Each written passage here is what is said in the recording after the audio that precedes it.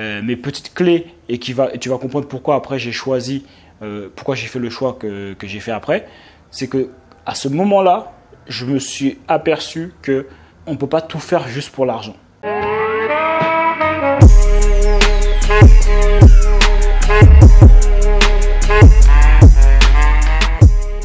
Alors bonjour et bienvenue sur cette nouvelle vidéo. J'espère les gars que vous allez bien. N'hésite pas à t'abonner, tu connais, et à cliquer sur la cloche pour recevoir toutes les notifications. Ici c'est Jonathan Chi. L'idée de cette chaîne c'est pour te permettre d'être déterminé, motivé, passer à l'action, créer ta vie sur mesure, créer ton business en ligne surtout. Hein. Euh, moi j'ai créé mon business en ligne euh, en vendant des formations sur euh, le saxophone. C'est sur le saxophone. En apprenant les gens à jouer au saxophone. Donc voilà, je vendais des, des formations en ligne. Les gens des fois ils ont des problèmes avec ça. j'ai vu un commentaire, je regardais une vidéo euh, sur euh, des, une vidéo américaine et euh, genre en commentaire il y a un gars qui a dit ouais les gars ils s'enrichissent en vendant des formations et c'est marrant parce que en fait le shift ils ont du mal à le faire quand genre quand c'est vendre des formations en ligne pour apprendre les gens à gagner de l'argent. Ils disent ah ça se fait pas mais si je lui dis j'ai fait un million en vendant des formations en ligne pour aider les gens à, jouer au saxophone il dirait rien tu vois. Donc c'est là qu'on voit qu'en fait le problème c'est vraiment dans la tête. Bref ça c'était la petite aparté donc tout ça pour te dire que moi j'ai grandi à Évry dans 91, j'ai redoublé mon BEP dans le quartier des Pyramides. Ok, euh, hein, les barrières, euh, la banlieue n'a pas de barrière. Hein, D'ailleurs tu t'en es sorti hein, euh, normalement à peu près, ou tu habites pas très loin. Mais en tout cas, je veux dire, c'est juste dans la tête. Il faut juste avoir les bonnes informations et passer à l'action en fait. Donc de toute façon je t'ai fait une euh, une étude de cas en fait où je te montre exactement comment j'avais fait 20 euh, 000 euros en une semaine. Ok, c'est offert, voilà. Et après, inspire-toi-en, copie, hein, faut copier les gars. C'est pas comme à l'école hein, où on te dit non, non, non, non, tu copies pas, euh, Gérard. tu peux copier, il n'y a aucun problème pour ça. Par contre, copie intelligemment. Je ferai peut-être une vidéo par rapport à ça. Et passons directement au sujet de la vidéo. Est-ce que j'ai fait le bon choix? Ok, je vais te partager un petit peu le choix que j'ai fait en fait entre mon business que j'ai actuellement, donc lié à ma chaîne YouTube, et euh, mon business euh, de soins à domicile que j'avais. Ok, donc je vais te dire pourquoi, je te, je vais dire un petit peu pourquoi j'ai fait le choix en fait de faire euh, bah, ce business que j'ai là, et toi tu me donneras ton avis. Est-ce que j'ai vraiment j'ai bien fait ou pas? Est-ce que toi tu aurais fait autrement? Ok, donc on va revenir un petit peu à la base pour ceux qui connaissent pas un peu mon histoire. Moi à la base, genre j'étais pompier de Paris, enfin j'étais spécialiste chez les pompiers de Paris, c'est-à-dire que j'étais électricien chez les pompiers de Paris. Et du coup, à un moment donné, je suis parti voir, euh, je suis parti voir euh, j'ai vu que ma était infirmière libérale et j'ai vu que son train de vie avait augmenté parce que j'avais pas grandi comme ça, tu vois, avec elle. Parce qu'au début, elle était, était sur Paris, enfin à Ivry, on était à Ivry. Après, elle, après, elle a bougé euh, après un certain moment, tu vois, quand j'étais déjà grand quand même. Elle a bougé et c'est là-bas en fait qu'elle a commencé à faire ouvrir son cabinet. Et donc du coup, je l'ai rejoint, tu vois. Enfin, je suis parti en vacances la voir. À un moment donné, je savais pas qu'elle faisait ça. Donc du coup, j'arrivais et j'ai vu que le train de vie n'avait rien à voir. J'ai vu un 4x4, j'ai vu une maison. Euh, enfin, euh, non, on n'était pas aux pyramides là. On n'était pas du tout au quartier des pyramides là. Ça ne plus rien à voir. Donc du coup, euh, j'ai dit mais qu'est-ce qui se passe?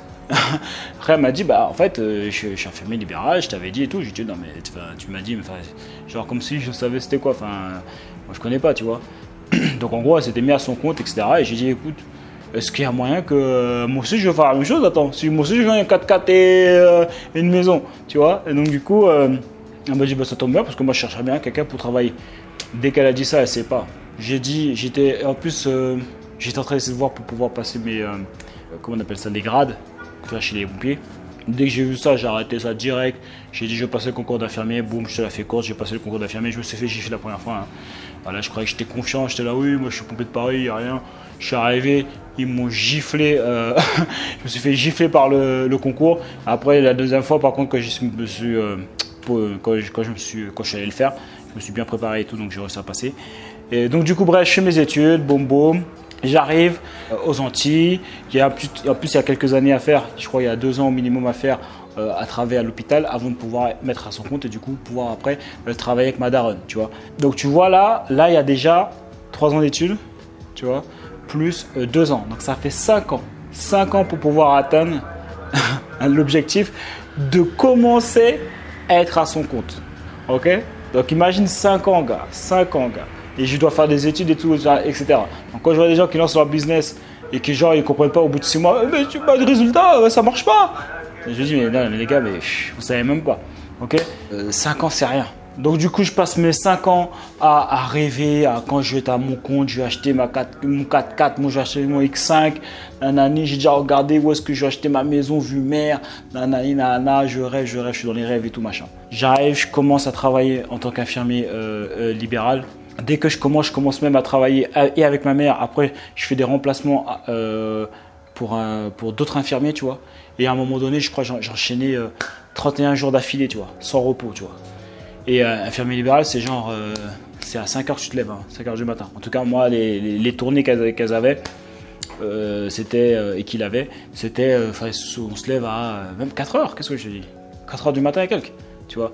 Et on commençait à tourner vers 5h. ok, donc du coup, j'ai enchaîné 31 jours d'affilée, gars, j'ai cru que j'allais mourir. Quand j'ai dit j'avais cru que j'allais mourir, tu peux, il n'y a pas d'impasse, tu es obligé de te lever, tu es obligé d'aller faire ta tournée, tu es obligé de faire tous les patients, etc.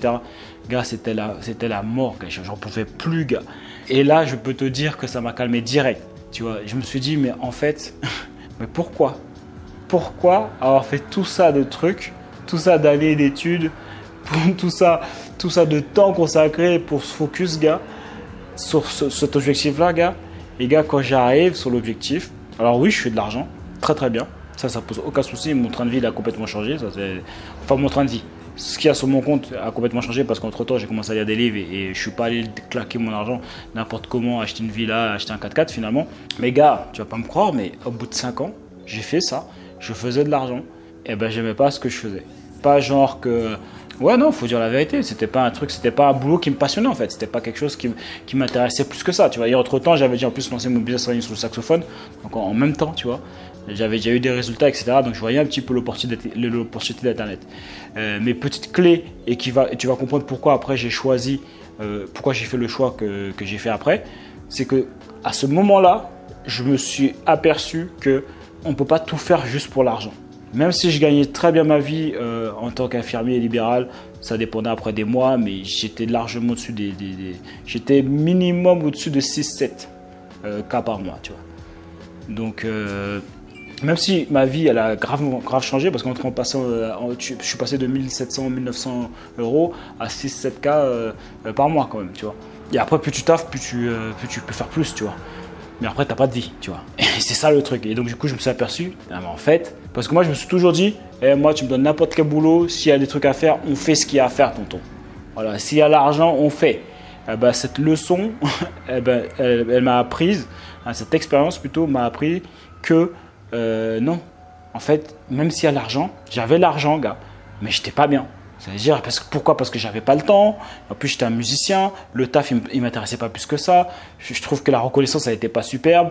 Parce que même par rapport, on, dit, on a l'impression que c'est des gros chiffres ce que je faisais, mais par rapport au temps de travail, euh, le temps mental aussi, euh, le temps de courir après les docteurs, etc. Bon, les infirmiers se, reconnaîtront, ceux qui sont libéraux.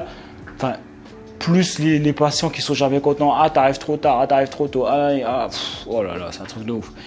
Donc, du coup, euh, c'était un truc qui était euh, qui n'était pas fait pour moi, quoi, en fait. Et là, je me suis aperçu de ça. Et gars, ça fait super mal, gars. Quand tu sais que tu as passé 5 ans pour atteindre un objectif, et finalement, quand tu l'atteins, tu te dis, mince, c'est pas un truc qui, euh, qui me correspond. Putain, gars, c'est chaud, gars. gars, c'est chaud. Et que, en fait, tu t'aperçois. Et donc, la leçon que j'ai tirée de ça, bref, pour te dire, la leçon que j'ai tirée de ça, c'est que ne fais jamais les choses que pour l'argent. Je sais que tu vas dire, parce que moi, quand les gens disent ça, je dis, ah, t'as raison, donne-moi l'argent, tonton, t'inquiète pas. T'inquiète pas pour moi. Mais la vérité, c'est vrai, les gars. Ne fais pas les choses que pour l'argent. Ça marche pas, gars. Ça marche pas. Euh, si le boulot il est dur en plus, tu fais ça que pour l'argent, t'es cuit. Tu vois, euh, fermer libéral, c'est très dur. Si t'es pas passionné parce que ça, parce que, parce que tu fais, après, peut-être que tu peux t'habituer, peut-être qu'il y en a qui vont s'habituer, mais déjà le fait que j'avais commencé à voir le truc avec mon dessin sur le saxophone, ça, marchait bien. Déjà, je me, je me disais, ah, je voyais qu'il y avait d'autres opportunités. Peut-être que si j'avais que ça, et je me dis de toute façon, il n'y a que ça dans la vie, je peux rien y faire, Peut-être que je me serai accommodé, mais en tout cas, dans tous les cas, je me conseille les gars, ne faites pas les choses que pour l'argent, parce que ça marche pas. Ça marche pas. Et puis de toute façon, tu vas toujours te faire gifler. Alors si on parle là, c'est la firme libérale, mais si on parle dans un autre marché ou autre chose, euh, si, pas, si jamais t'es pas passionné par ce que tu fais, tu vas toujours te faire gifler par le gars qui, qui, est passionné par ce qu'il fait, parce qu'il sera toujours meilleur que toi. Et s'il est meilleur que toi, il gagnera plus que toi. Donc du coup, après, quand même, comme j'avais lu le livre de, de Robert Kiyosaki, eh ben, euh, j'avais compris qu'il fallait que je me mette à euh, l'impôt sur la société. Donc j'avais créé la société. De fil en aiguille, comme j'ai créé ma société, je me suis dit, mais attends, mais peut-être que je pourrais embaucher quelqu'un. Et après, j'ai rencontré un gars, pareil, un jeune qui est, qui est seul aussi, qui, qui charbonne, qui avait fait en fait ce que je voulais faire en fait. Ça veut dire bah, créer sa société, embaucher des infirmiers, etc. Parce que tous les autres infirmiers autour de moi bah, euh, euh, disaient ouais c'est pas possible, euh, un infirmier ne peut pas embaucher un autre infirmier, tu vas te faire radier, il y a des gens qui se sont fait radier, etc. Donc du coup par hasard, c'est vraiment par hasard, mais bon je pense que ça c'est le coup de truc de la loi d'attraction, tu vois. C'est genre que j'ai pu rencontrer ce gars-là sur un groupe je l'ai vu, il a intervenu une seule fois, parce que alors il n'intervenait jamais euh, d'habitude. Hein. Il a intervenu une seule fois sur un groupe d'infirmiers. Moi-même, j'avais même mis ce groupe-là en silencieux. Je ne sais même plus pourquoi je l'avais mis là. Je pense que j'avais mis là pour trouver des remplaçants ou un truc comme ça. Et, euh, et je suis tombé sur son message alors que je regarde jamais ce groupe. Et j'ai vu qu'il disait un truc. Et tout le monde, en plus, il se faisait lyncher.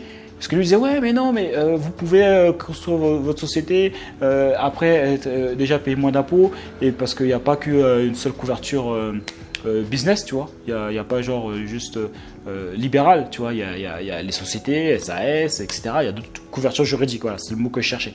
Il expliquait ça et, tout le monde lui tombait dessus. Mais tu dis n'importe quoi Nanani, nanana, il s'est fait défoncer, je sais pas quoi. Et après, je suis parti direct en DM, j'ai dit écoute-moi bien, ils sont pas prêts. Viens, explique-moi comment on fait. ok, donc du coup, c'est comme si j'avais trouvé un peu un mentor. Hein. Euh, parce qu'en fait, lui, il avait déjà même deux, trois infirmières à, cette époque-là. Et, euh, et, du coup, euh, je me suis dit, bah, je vais faire la même chose que toi, mon gars. Qui, par qui t'es passé, qui, est ton comptable, qui sont les gens à qui t'es entouré, qui t'a mis ça en place. parce qu'il m'a expliqué, en fait, les gens qui sont dire, c'est les gens qui font pas les choses bien. Boum, boum. Donc après, je me suis fait entourer. Boum, j'ai commencé à mettre ça en place. Société, boum, carré. je peux embaucher. J'ai commencé à embaucher une personne. Euh, je te passe des trucs où c'était super relou, hein. ça s'est pas fait euh, comme ça. Hein. C'était super galère. Euh, j'oublie comment ça s'appelle, mais les trucs qui veulent quand tu payes des impôts pour les infirmiers, j'oublie c'est quoi là ah, j'ai oublié l'institut. Bref, il y a plein de trucs qui étaient relous, mais je te la fais courte comme c'est pas le sujet de la vidéo. Si tu veux que je t'en parle, je t'en parlerai. de comment c'était galère de monter ce truc là. Donc après, j'ai réussi à trouver. À embaucher quelqu'un parce que c'était compliqué d'embaucher quelqu'un parce que c'était un nouveau concept je sais pas si, je sais même pas si jusqu'à aujourd'hui c'est pas toujours nouveau ou si les gens sont pas un peu craintifs et tout. Mais à l'époque, quand j'ai fait, c'était quand même un petit peu un nouveau concept. C'est quoi, ça C'était combien de temps ça Trois ans? C'était un nouveau concept, donc même les infirmières, pour trouver des infirmières pour travailler avec toi, elles disent mais attends mais je suis libéral ou je suis euh, ou je suis euh, je suis employé, comment c'est possible, enfin qu'est-ce qui se passe, enfin voilà tu vois. Donc du coup ce que j'avais fait c'est que j'avais utilisé mes, mes, compétences en, en business en ligne parce qu'en attendant, moi je charbonne toujours sur mes business, hein, sur le business en ligne, tu vois. Je crois que peut-être qu'à ce moment-là, je faisais le business sur la santé, je pense. Et donc du coup, j'avais fait une vidéo, boum, j'avais mis ça sur Facebook, black, j'avais fait, j'avais une petite chemise, bam, j'avais mis le petit logo de la société. Et après, j'avais dit, voilà, nous recherchons des infirmiers, blablabla. J'avais mis, eh gars, j'avais mis quoi? Quand j'avais mis 5, 10, 10 euros, 5, 10 euros, gars le truc il a fait un buzz, un truc machin. Mon conseiller en gestion patron me dit hey, t'as fait un buzz, genre t'as fait un bad buzz parce que tu sais à l'époque, euh, genre limite il voulait me mettre la pression, ouais t'as fait un bad buzz, j'ai dit t'inquiète pas, il n'y a, pas de bad buzz, t'inquiète pas, euh, tout le monde s'est inscrit parce que j'avais fait une landing page, euh, les gens ils cliquaient, ils renseignaient leurs informations. Et après j'ai fait des entretiens, j'avais 25 demandes, j'ai coupé la pub rapidement, j'ai laissé la pub tourner 3-4 jours après, boum, euh, j'avais 25, 25 euh, personnes qui voulaient travailler dans l'entreprise. Donc après, j'ai pris une personne qui était en France. Elle est venue en Guadeloupe pour pouvoir travailler. Après, elle a travaillé. Et donc, du coup, là, j'ai pu ne plus, ça m'a permis de plus être dans l'opérationnel. Donc, euh, elle travaillait, tac, tac. Et, et moi, je, je, gérais juste le planning, etc. Et si elle voulait partir en vacances et tout comme ça, tu vois. on était parti au début sur un CDI de un an. Donc, du coup, là, tu vas arriver au moins au moment où le choix que je fais. Donc là, je suis plus dans l'opérationnel. Ça veut dire que je suis quand même tranquille. J'ai déjà mes journées, je fais ce que je veux. D'ailleurs, je bosse à fond sur mes business en ligne. Et ce que je peux faire, c'est que je peux dupliquer ce que, euh, entre guillemets, mon mentor euh, a déjà fait, en sachant que a au moins 3 ans d'avance. Parce qu'à ce moment-là, quand moi j'ai une employée, je crois qu'il en a au moins 5, 6, 7, 8, tu vois. Et il génère, euh, il génère pas mal de cas, je sais plus combien, mais je n'ai pas envie de te dire de bêtises, mais en tout cas, il génère très très bien, il gagne très très bien, il fait beaucoup de chiffre d'affaires quand même tu vois, je sais plus combien c'est. Peut-être un demi-million à l'année, je sais plus. Mais en tout cas, il génère du cash. Suffisamment pour que tu sois à l'aise.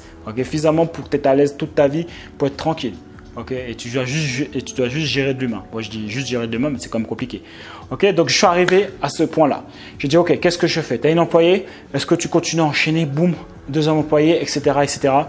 Après, euh, donc c'était quand même quelque chose qui était tracé, tu vois. J'avais juste à faire un copier-coller de ce qu'il avait déjà fait. Tous les problèmes que, que j'allais avoir, il les a déjà eus. Donc du coup, euh, ben, j'aurais, j'aurais pu les anticiper. Tu vois, j'étais, j'avais la même équipe que lui. Ok, que ce soit son expert comptable, que ce soit euh, le conseiller. Hein. Donc du coup, c'était ligne droite, quoi, en gros. Tu vois. Même si c'était quand même un peu un truc nouveau, qu'on m'aurait pris la tête, etc. Mais bon, en tout cas, c'était, euh, c'était quand même ligne droite. Donc après, je suis arrivé à un moment, j'ai réfléchi, j'ai dit, ok, Là, euh, et là, à ce moment-là, la santé, euh, ça me saoulait parce qu'en vérité, ce que je voulais faire, c'était euh, ce que je suis en train de faire aujourd'hui. C'est parler de business, parler de, développement personnel, designer sa vie, tu vois. Et j'hésitais à lancer cette chaîne. Donc j'ai lancé quand même. J'ai lancé. Et après, je me suis dit, écoute, c'est simple, je me laisse, je me laisse un an. Comme j'avais la, meuf que, que j'avais employée, avait un CDD. J'ai dit, je me laisse un an pour pouvoir vivre de ce business-là. Et après, et si jamais ça marche, je pars là-dessus. Donc du coup ça s'est fait, ça s'est fait assez rapidement parce que j'ai commencé avec euh, des, offres euh, euh, premium. C'est ce que je conseille d'ailleurs quand tu commences. Commence avec des offres premium, tu vois. Et quand tu vas commencer à avoir du trafic, quand tu vas commencer à avoir une communauté, tu vas pouvoir commencer à proposer des produits un peu plus bas de gamme, tu vois, entre guillemets, tu vois. Mais la stratégie de commencer avec des offres premium va te permettre de pouvoir vivre rapidement de ton business. Donc du coup c'était quand même super difficile, tu vois. J'avais le stress parce que euh, tu, laisses un truc quand même, tu es sûr que ça t'es bien. Tu es sûr que ça est. tu, vois le futur dans le gars qui est déjà qui a déjà 3 ans d'avance sur toi. Donc tu vois les 3 ans chez le gars en fait. Et, même tu peux peut-être même faire mieux parce que les 3 ans qu'il a d'avance sur toi, eh ben, lui, ça va lui permettre. Euh, enfin, toi, ça te permet d'apprendre de, de, ses erreurs. Donc, ça se trouve que je pourrais être encore plus loin dans les trois ans qu'il a fait, tu vois. Et puis, tu sais que tu as un truc, c'est de l'argent qui tombe tous les mois, tu vois. Moi, c'est la sécurité, c'est ça qui paye. Donc tu sais que tu as de l'argent tous les mois. Ça veut dire que j'étais à un endroit quand même où c'est vrai qu'il y avait le stress, il faut gérer l'humain, mais j'avais quand même déjà un business qui, avait déjà euh, un avenir tranquille. Et là, je repartais à zéro sur Internet où genre euh, il n'y a aucun revenu, il n'y a rien quoi. Je repars vraiment à zéro de ouf. Donc qu'est-ce que tu auras fait toi? Tu seras resté dans le business, genre euh, que tu as déjà commencé, tu as déjà un employé, euh, tu as déjà commencé à prendre l'expérience, à gérer l'humain, et puis tu sais que tu es tranquille. Euh, là, j'aurais été tranquille à vie, quoi. Enfin, je veux dire, euh, jusqu'à aujourd'hui, je l'ai eu il n'y a pas longtemps d'ailleurs, il s'appelle Grégory. Grégory, je l'ai eu alors, comment ça se passe? Il m'a dit, bah, ça, ça glisse, il y a toujours enfin, la même chose, quoi. Il n'y a, rien, tu vois. voilà, j'aurais pu être là tranquille, mais alors pourquoi du coup j'ai fait, j'ai préféré partir sur bah, créer cette chaîne YouTube, créer un business par rapport à ça? Toi, tu me diras ce que tu auras fait, est-ce que tu auras quitté ça, un business qui aurait pu rapporter 20, 30, 40, 50K peut-être par mois euh, de chiffre d'affaires euh, que tu as déjà, que c'est déjà machin, tu as déjà commencé, es déjà, tu es obligé de faire les 6 figures, tu es obligé de faire les, dépasser les 100K à l'année. Tu vois, si tu fais les choses bien, c'est obligatoire, tu vois. Donc qu'est-ce que tu auras fait? Tu seras resté là euh, et où tu auras fait YouTube où tu repars à zéro, vraiment à zéro. Parce que moi, mes premières vidéos, les gars, je faisais 4 vues, 5 vues, 4 vues, 5 vues, 6 vues. Donc alors, du coup, moi, je te dis pourquoi j'ai choisi.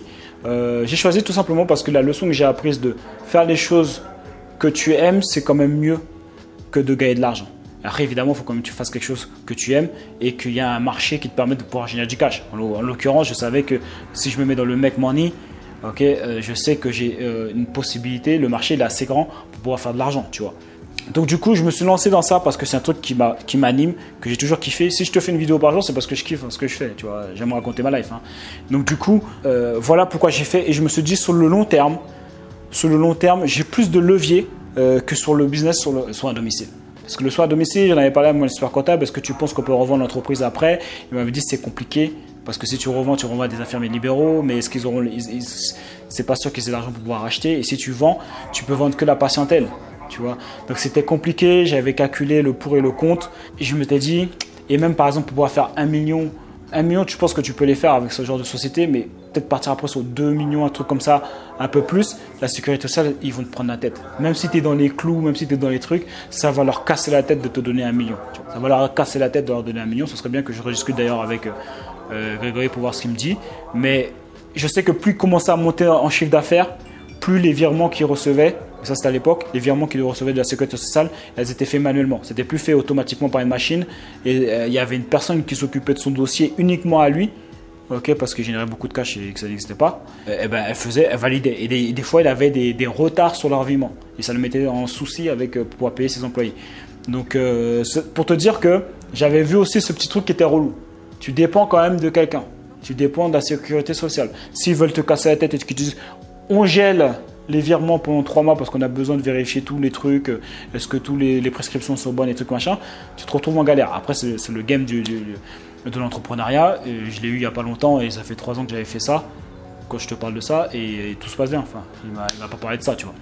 Mais j'ai préféré me diriger vers euh, Internet, faire un truc qui va me permettre de, de pouvoir m'épanouir dans ce que je fais, en tout cas, de, faire ce que j'aime, tu vois. Et je me suis dit, de toute façon, je préfère faire, même gagner moins, peut-être 2000, 3000 euros par mois, parce que j'avais fait déjà aussi à faire le saxophone, gagner 2000 euros par mois. Je me suis dit, même si je gagne 2000 euros par mois, au moins le fait de faire ce que je veux, pouvoir être libre géographiquement, tu vois, de ne pas avoir d'employés, de ne pas avoir de compter sur la, la sécurité, c'est ça qui me fasse des virements pouvoir voyager quand je veux, quand je, dès que j'ai bougé, pouvoir bouger quand je veux. D'ailleurs, dès que j'ai pu bouger, je, l'ai fait. Je commence à voyager partout, apprendre l'anglais, etc. Là, je commence même à parler espagnol pour te dire. Donc euh, voilà. Donc euh, je me suis dit, même si je gagne moins, et j'avais déjà dit dans une vidéo, même si je gagne moins qu'avec mon business précédent, je préfère ça, avoir la liberté. La liberté, ça a beaucoup plus de valeur pour moi, tu vois. Et l'argent, de toute façon, tôt ou tard, sur le long terme, ça va payer. Tu vois, YouTube, quand tu fais les choses bien, quand tu as les stratégies que j'enseigne, c'est qu'une question de temps.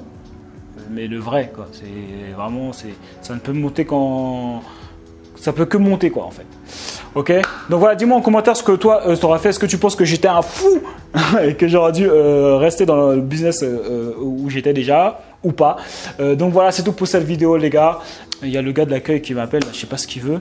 Ah oui, je crois que j'avais commandé un truc. Donc n'hésite pas à mettre un j'aime si tu aimé cette vidéo, un j'aime pas, parce que toi, je sais pas pourquoi tu gars, tu t'es trompé de vidéo, mon gars, change.